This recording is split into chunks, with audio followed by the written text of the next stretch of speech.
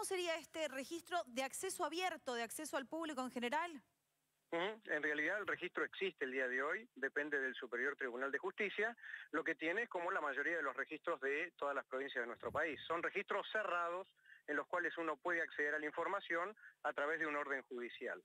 Nosotros en el entendimiento de que en realidad el, no darle la información a la ciudadanía es dejarlos muchas veces en un estado de indefensión, es que se ha tomado la determinación, por instrucciones del gobernador de la provincia, Mariano Orsioni, de publicar tanto en una página de internet del Ministerio de Gobierno como una aplicación que va a estar en funcionamiento este día jueves de absolutamente todas las personas que tengan condena en base a delitos sexuales. Y esto es una publicación tanto de sus rostros, su prontuario, los antecedentes y fundamentalmente en qué jurisdicción están, si están detenidos o si se encuentran en libertad. Todo con el fin de que la familia y los vecinos puedan tomar las prevenciones necesarias y no manejarse por ahí en base a la falta de información con una seguridad que por ahí no se la está proveyendo el mismo Estado. Eh, ¿la gente que tenga condena cumplida también va a figurar en el registro?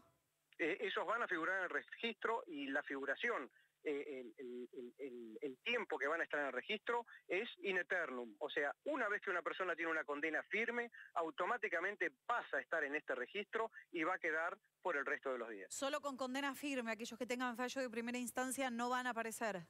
No, lógicamente, por una cuestión jurídica, usted sabe que hasta tanto la condena no esté firme, siguen gozando de el, principio de inocencia.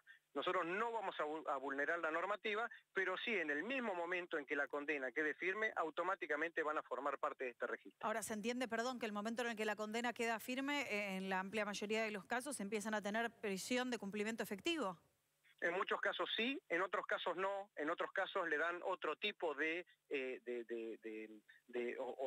tratamiento o eh, quedan con una prisión en suspenso. Acá en la provincia de Chubut, como para darle un ejemplo, nosotros tenemos un índice delictual de este tipo de, delitos extremadamente altos. Para darle eh, una información de 337 condenados que hay en la provincia de Chubut, 103 son condenados por delitos sexuales y hay 47 que se encuentran con otro tipo de régimen, o tienen salidas transitorias, o están en sus comprisiones domiciliarias con tobillera electrónica, o directamente ya están dentro de lo que sería eh, la fase de eh, libertad controlada, eh, y lógicamente pasan a tener contacto con el resto de la sociedad, muchas veces o en la mayoría de los casos, la sociedad no teniendo conocimiento de quién es el vecino que tiene. ¿Tendrán dirección?